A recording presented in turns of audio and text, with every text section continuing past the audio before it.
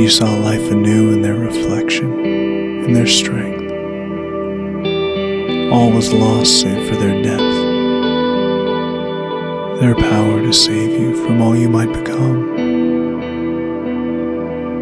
And you would never be the same.